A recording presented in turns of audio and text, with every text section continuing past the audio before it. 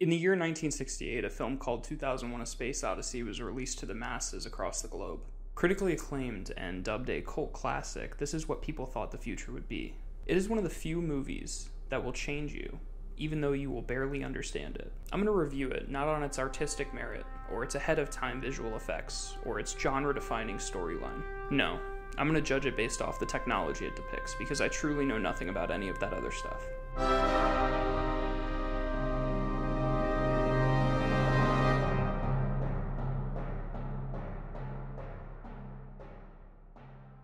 2001 A Space Odyssey begins with a 20 minute sequence of apes jumping around in this prehistoric desert biome. A large monolith appears, showing all of the apes how to use bones to kill each other. Now, obviously, there's no computers here, so we can fast forward 2.5 million years by way of an ape launching a bone into orbit using sheer arm strength alone. We find a government scientist, Dr. Heywood Floyd, on his way to the moon aboard Space Station 5, a hotel spaceship. There are many things here that show the creators of this film made decisions based on the possible future reality, the first being the ship itself. A large spinning spacecraft like Space Station 5 is often depicted in science fiction films because it is one of the only ways to create artificial gravity in space. As the spacecraft spins, it accelerates the occupants towards the walls where they can stand, with the exact amount of gravity felt by a person being directly related to the size of the ship and the speed at which it's spinning. Space Station 5 is set in various online sources to spin at just the right speed to simulate the moon's gravity. Another key aspect of this ship is the voice recognition system that Dr. Floyd uses to gain access at the beginning of his trip, like some sort of airport check in. Through a series of questions, the computer in the wall is able to identify Dr. Floyd using only audio, which is a technology I think we'll be seeing a lot more of here in the future as AI and speech detection models continue to get better and better.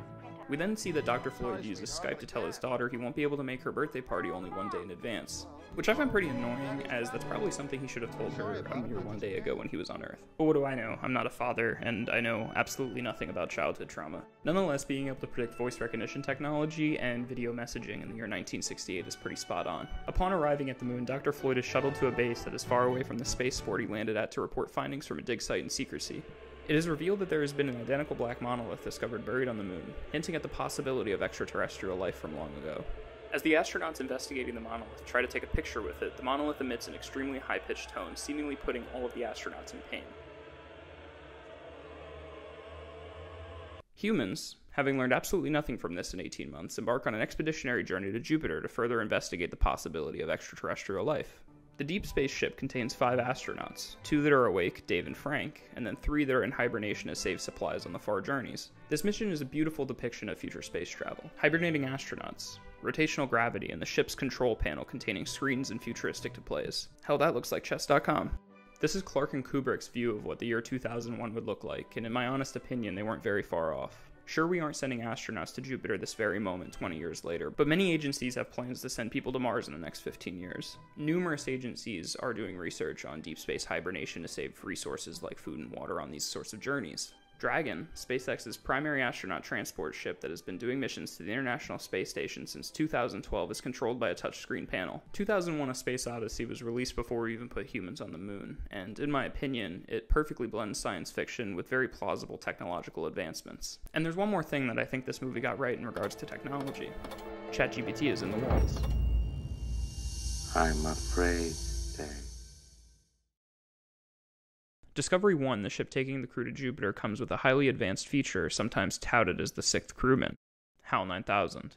HAL 9000 is essentially wired up to the entire ship, giving it the ability to monitor everything and report on it to the crew, somewhat like a modern computer dashboard. The main difference is that HAL is able to communicate via natural language dynamically, much like modern large language models. As opposed to staring at computer screens and crunching numbers themselves, this gives the astronauts the ability to just ask questions of the computer and gain an intelligent, always correct answer. Uh, until it's not, of course. On their way to Jupiter, Hal identifies a problem with the communication system required to keep contact with Earth. Upon removal and consulting with astronauts on Earth, the astronauts believe that Hal has made a mistake. Hal assures them that that's impossible, as HAL 9000 units have never made a mistake since they've been created. Suspicious of the mistake, Frank and Dave decide to possibly turn off the computer in secret. However, Hal, reading their lips, doesn't like that. Hal's only job is to complete the mission, and this entire time he's been the only one that knows the real reason they're traveling to Jupiter. Alien life is more than likely in the Jupiter system. Hal was instructed by his creator to keep this secret from the crew as it may compromise the mission if they knew the real reason they were traveling to Jupiter. In an effort to keep the information secret from the crew without lying to them, and also protect himself from being shut down, Hal begins to kill the crew.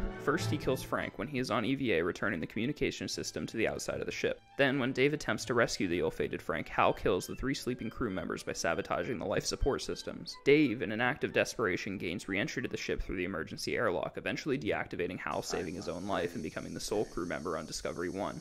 Of course, sentience in modern artificial intelligence models is worrisome, and that seems to be what is depicted here in 2001 A Space Odyssey.